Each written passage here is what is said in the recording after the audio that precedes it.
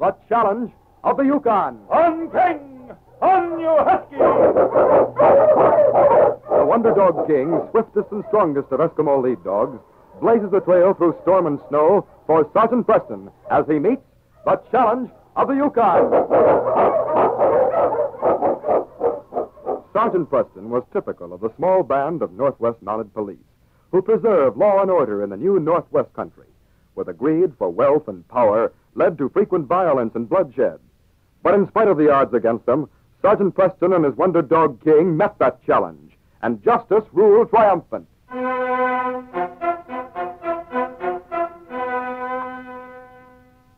In a small town in Indiana, Cora Raymond put down the letter she had read for the fifth time. She smiled slyly as she looked across at her husband, Jim, who had entered the house wearily a few minutes before. He was a man about fifty, and a worried frown deepened the wrinkles in his forehead as he removed his shabby shoes. Oh, it's no use. I can't find work. They want younger men. Well, I've been wanting to get away from you for a long time, anyhow. You're nothing but a weakling, and I'm not sticking with you any longer. Oh, I see. It's because I'm not rich any longer. All you ever wanted was my money. Maybe that's true. Might as well tell you to your face. So now you're doing the same thing you did with your first husband, Sam. Leaving me now that my money's gone and most of it's spent on you. Sam was just as dumb as you. The poor fool was in love with me. Poor Sam. He must have hated you later. Hated me? Oh, no. Cora, I know you for what you are a mean, selfish, extravagant woman. You haven't a shred of loyalty or honesty in your makeup. Sam must have known it. Well, if Sam hated me so much, why did he think of me just before he died? He. He's dead? Yes. This letter came today from Whitehorse, up in Yukon country. Sam discovered gold up there, and he's leaving me a fortune. Why, I can't believe it. After the way you the poor him. idiot. It all came about because of what I said to him about never looking at his stupid face again, as long as I lived. But I can't understand. I, I don't. All right, it. listen. I'll read part of this letter to you. You will receive this letter after I am dead. I discovered gold here in the Yukon and have saved over $200,000. Your last words to me were that you would never look at my face again as long as you lived. But I've determined to make you break that vow. I never loved any woman before I loved you. And I hated all women after you left me. You never loved anything but money. So I'm using money to bring you back to me. Under my head, when they bury me, will be a map showing where my fortune is. The map will be in a sealed envelope with your name on it. How you will get it is your problem. But I'd advise telling no one, as a woman is a helpless thing in the Yukon. So you see, Cora, you will look upon my face again. the fool. Does he think keeping a vow is as important as $200,000? You. You mean that you're going up there? Certainly I am. I'll dig him up myself if I have to. For money like that. But it'll cost a lot to go up there. Railroad fare, the boat, and living up there is expensive. Well, I might as well tell you. I've saved almost enough. It's in my name, and you can't touch it. You mean money I gave you? You were such an easy mark. It wasn't hard to get it out of you.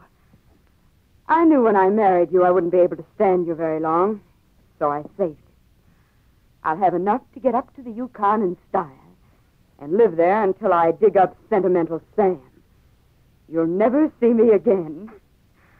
I'll never have to look at your stupid face as long as I live.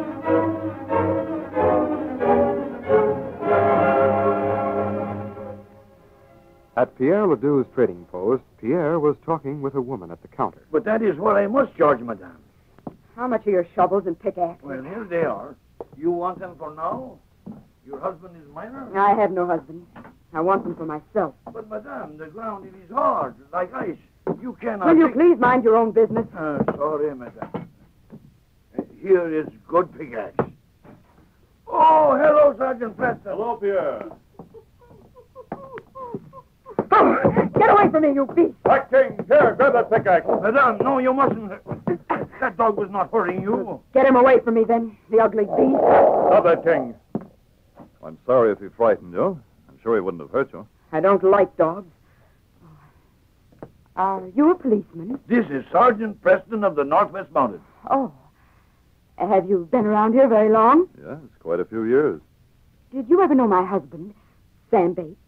I knew him about as well as anyone did. Are you his wife? I'm his former wife. My name is Raymond now. Me, I know Sam Bates also. He did his trading here. Um, Sergeant, you can help me, I think. Do you by any chance know where Sam is buried? Well, I have a vague idea. I. I want to visit his grave. It may be rather hard to find.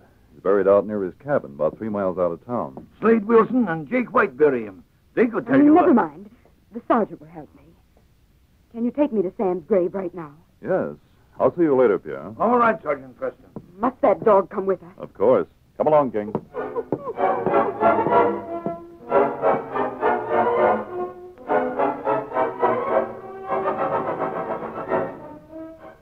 Pierre Ledoux was telling the latest gossip to two men the following afternoon. Slade Wilson and Jake White listened intently. Me, I tell you this because you helped to bury Sam Bates. This woman, she is worst woman I've ever seen. No wonder, Sam, he was bitter man. I never knew he'd been married. Such a temper she has. Yesterday she almost killed Sergeant Preston's dog with pickaxe. What was she doing with a pickaxe? that is funny thing. Today she come in and buy one.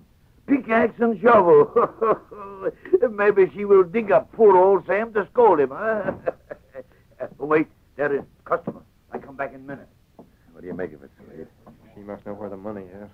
And he must have had plenty. Well, we sure combed the place out there. There wasn't so much as a grain of gold dust anywhere. Why did she want to know where he was buried, do you think? Slade, that's it. It's in his grave. But we buried him. We'd have found it. He could have had the map in his clothes or something. But Why wouldn't he just send it to her? Maybe he just wanted to make it hard to get. And ain't a pleasant thing to do, digging someone up.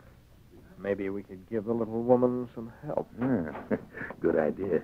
Maybe that's her now. Help me, somebody. I, I'm so cold. My hand. let's see it, ma'am. Uh, sit down here.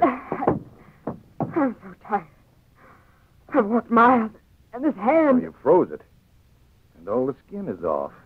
As if you've been digging. I realize now I'm going to have to have help.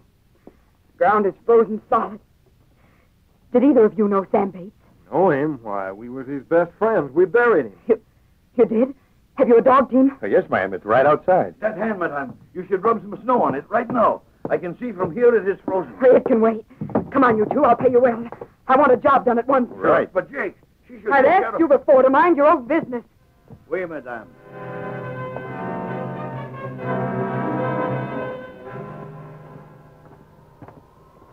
Here it is. Here's where I started to dig. It's Sam's grave.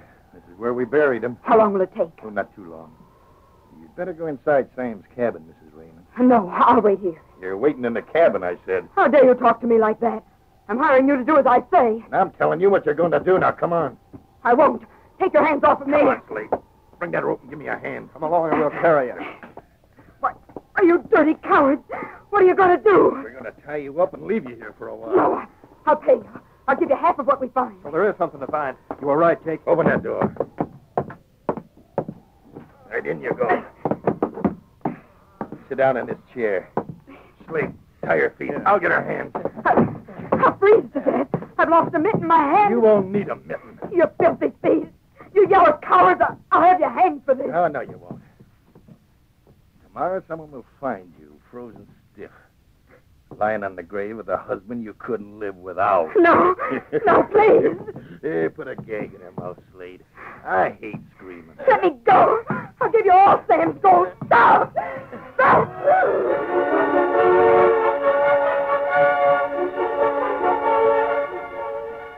Sergeant Preston entered Pierre's store long after Cora had left. Pierre, as usual, was agog with gossip. Sergeant, that crazy woman, she was here once more. She come in like wild. Her hand it is froze, but she will not stop for fix it. She take Jake White and Slade Wilson. They all run out to dig something. Jake White and Slade Wilson. What a pair to pick. She does not know they are not so nice. You say her hand was frozen? We, I try make her fix it, but she almost spit at me. Well, doesn't she know she ought to tend to that at once? She might lose her hand. Well, King, in spite of the fact that we don't like her, it's our duty to help her. Sacre bleu. I am glad it is you and not me who will tell that wildcat what to do.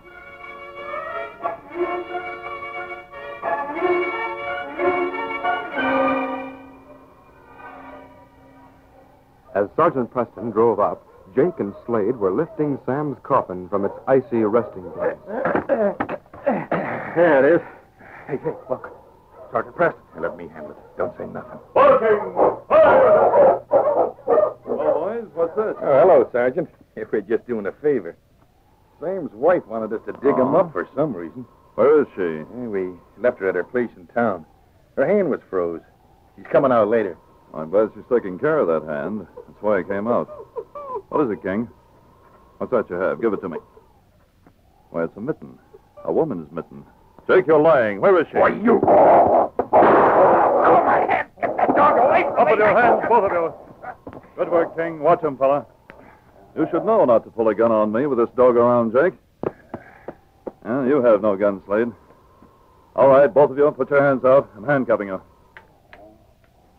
All right, King. The smitten boy. Find her. Oh. So she's in the cabin. I didn't think it'd be so obvious. All right, walk ahead of me, both of you. King, watch these men, boy. In you go. Yeah, that dirty cur. This is Raymond. Well, you're alive anyway. I'll loosen this gag and cut you free. Oh, thank heaven you came. Oh, my hand. It's numb. Your hand is completely frozen. We'll have to get you to town at once. Did, uh, did they get Sam's We're coffin? just taking it out as I came. You can come back tomorrow. No, I can't leave it. Come on, someone let... Come on, help me. Mrs. Raymond, come back. Watch these men, King. Don't let them move. Mrs. Raymond, you must listen. I have to know. I won't go. I want to get that map, whatever it is. I don't care about my hand. All right. I'll open it for you. Here's a hammer.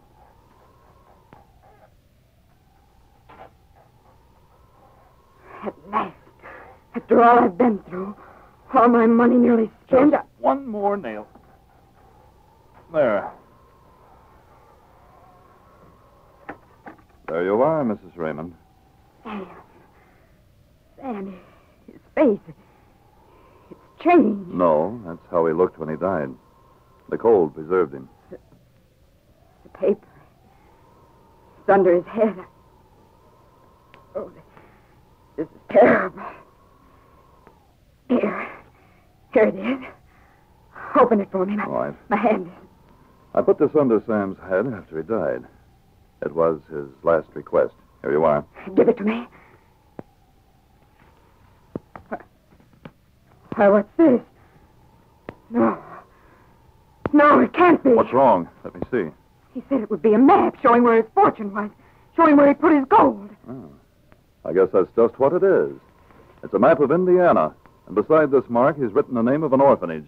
That's where Sam left his money.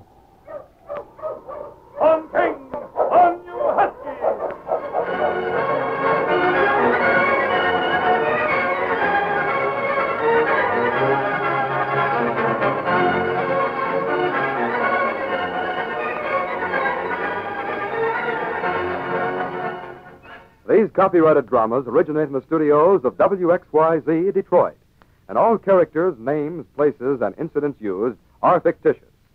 They are sent to you each week at the same time and reach you from our transcription studios. Hal Neal speaking. This is the Michigan Radio Network.